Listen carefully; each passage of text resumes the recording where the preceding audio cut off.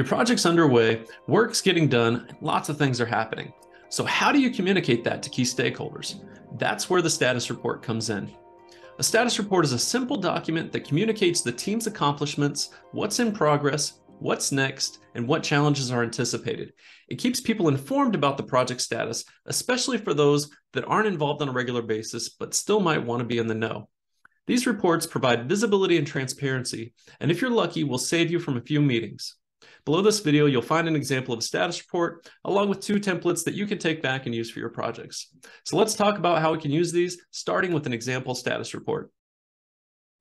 First off, what information goes into the status report? We like to use three inputs. The first is the project plan, which is typically in Excel or your project management software. This captures what was completed, what's in progress, and what's coming up. The second input is the information from the status meetings with the project team. And third, we collaborate with the core project team members to make sure we all agree on the content. With that information, we prepare our status report that communicates everything that happened that week. The picture you're seeing here is the format for each week's report. The same time each week, we copy the previous week's report and update it. Let's take a closer look at the template. Starting at the top, we'll put in our project name, then the reporting period, and your name. Here's the spot for your current status. This is a quick, at-a-glance health check for the project. Green is on track, orange is for at risk if your projects might be slipping. Red is for high risk when your project has risks that prevent you from staying on time or on budget. Is for when your project is on hold. I do want to point out that this status should be accurate.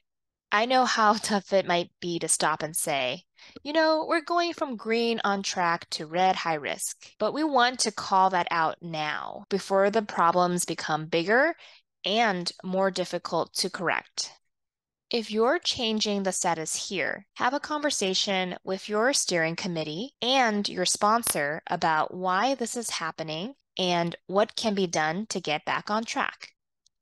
Next, we have the project schedule.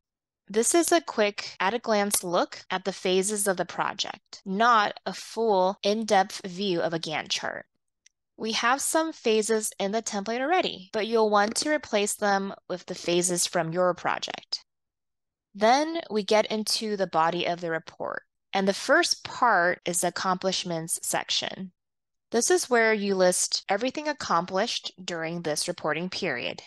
Typically, we start with a past tense verb like completed the project charter. Start with the big accomplishments and end with the smaller stuff. We want to use this section to showcase all of the great work that's been completed. Next, we have the work that's in progress. This is what the project team is currently working on and has not completed yet. We start with an ing verb, like working on the communications plan. Then we have next steps. These are things that are right around the corner and are started with a verb like schedule a meeting with the advisory committee. And last, and this is very important, is the risks and mitigation section.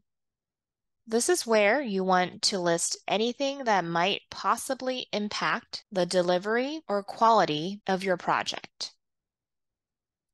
Remember in your project charter how you outlined risks that might occur? This section is to list risks that are occurring right now or might occur. These are the risks that are currently on your mind and should include your mitigation strategy for these risks. For example, a risk might be short timelines to complete the project. And mitigation is to hold daily stand up meetings to ensure the project is on track. There's one item not shown in this format but might be helpful, and that's the appendix. This is where you might include additional data about this week's report, such as screenshots of a new feature that was developed, additional reading on some new piece of equipment, etc. Use your own judgment here. Now that you have the report, what do you do with it? Hopefully, either your project charter or communications plan says what you're doing with your status report. But typically, you'll be sending this on a regular basis, usually weekly, to your project sponsor, steering committee, project team, and perhaps key stakeholders that might need to be informed about the project. You'll probably send it via email. And in the body of the email, I recommend including a few key highlights from the report. We have an email template below that can get you started. So it might seem like a bit of work up front, but once this becomes a standard practice for your department and your sponsors and stakeholders and project team all know what to expect on your projects, it will start to pay dividends. The status reports are one part of what happens in the execution phase. If you want to see what else is happening in execution, check out our website at epmo.sdcoe.net.